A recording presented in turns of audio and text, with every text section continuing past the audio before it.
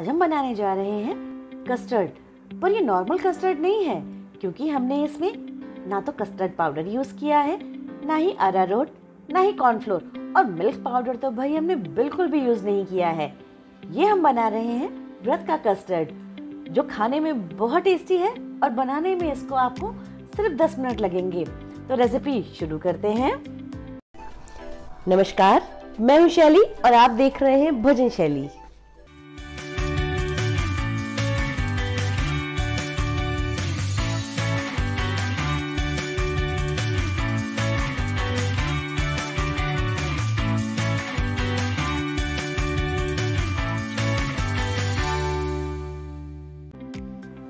व्रत वाला कस्टर्ड बनाने के लिए एक कढ़ाई में मैंने ये आधा कप साबुदाना लिया है।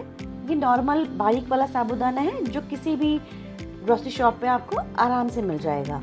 अब हमको इसको स्लो गैस पे करके थोड़ा सा रोस्ट कर लेना है जिससे कि इसकी नमी निकल जाए। ध्यान रखिएगा, इसको हमें बहुत ज़्यादा नहीं भूनना है और इसका कलर तो हमें बिल्कुल भी चेंज नहीं करना है। तीन से चार मिनट हो गए इसे भूनते हुए तो मैं गैस का फ्लेम बंद कर रही हूँ और इसको थोड़ा ठंडा होने देती हूँ। अब इसको मिक्सी के जार में डाल के देखिए, ऐसा बारीक सा हमको पाउडर तैयार कर लेना है। ध्यान रखिएगा कि जब हम इसको पीसे तो थोड़ा केयरफुल होके पीसे, हमको इसको बहुत अच्छे से बारीक करना है। अब इस पाउडर को एक छलनी से हम छान लेते हैं, जिससे कि जो भी इसमें मोटा कुछ रह गया हो तो हम उसको अलग कर दें। ये देखिए, ये बचा हुआ है तो मैं इसे अलग कर रही हूँ। तो देखिए, छानने के बाद हमको इस साबुदाने का एकदम फाइन पाउडर हमें मिल गया है।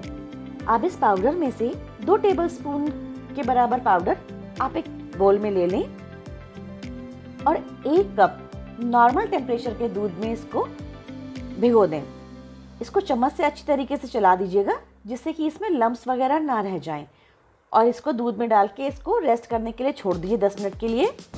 तब तक कि हम दूध गर्म कर लेते हैं। एक कढ़ाई में ये दो कप के बराबर मैंने दूध लिया है। जब दूध में उबाल आ जाए तो मैंने इसमें ऐड की ये दो टेबल स्पून के बराबर ब्राउन शुगर आप इसमें कोई सी भी अपनी मनपसंद की चीनी, मिश्री या देसी खांड कुछ भी ऐड कर सकते हैं। अब इस दूध को मीडियम फ्लेम पर हम तीन से चार मिनट के लिए पका लेते हैं। और यहाँ पे मैंने इसमें डाला वन फोर्थ चम्मच के बराबर इलायची पाउडर। और ये पाँच से सात केसर के धागे थे, जिसको कि मैंने दूध में भिगा के रख लिया था। अब वो भी मैं इसमें ऐड कर रही हूँ। अगर आपके पास केसर के धागे ना हो तो आप सिंपल खाने वाला कलर भी डाल सकते हैं। और अगर आपके पास खाने वाला कलर ना हो तो आप एक चुटकी हल्दी भी डाल सकते हैं। ऐसा करने से इसमें बहुत अच्छा एकदम लाइट येलो कलर आ जाता है। तो अब केसर, चीनी, ये सब पड़ चुकी है इसमें और हमको इसको चार से पाँच मिनट के लिए पका लेना है।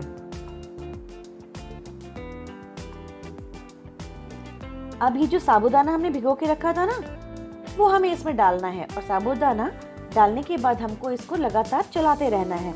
नहीं तो हमारे इस कस्टर्ड में लम्स पड़ जाएँगे जो कि खाने में अच्छे नहीं लगेंगे। और गैस का फ्लेम हमको मीडियम ही रखना है। बहुत तेज गैस का फ्लेम हमको नहीं करना है। ये देखिए साबुदाने का पाउडर डालने के बाद हमें कम से कम चार पाँच मिनट हो गए हैं इसे पकाते हुए। तो देखिए, गाढ़ा होना शुरू हो गया है। ये मैंने पाँच छह बादाम ले लिए थे, जिनको कि मैंने बारीक काट लिया है। तो मैंने इसमें ऐड कर दिए हैं। ड्राई फ्रूट इसमें डालना टोटली ऑप्शनल है। आपका मन करे तो आप डालें। आपको अच्छा ना लगे तो आप ना डालें।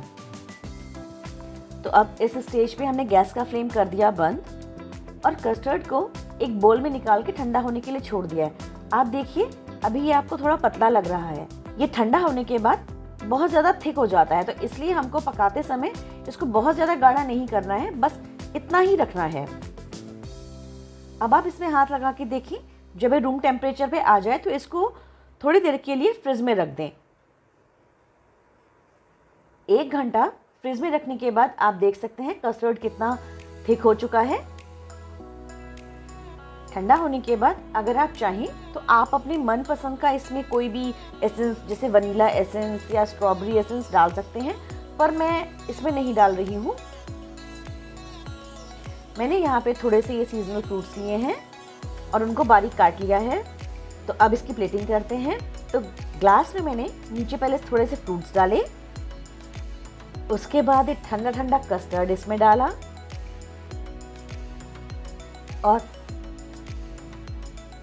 फिर से थोड़े से फ्रूट्स इसके ऊपर डाल दिए हमने।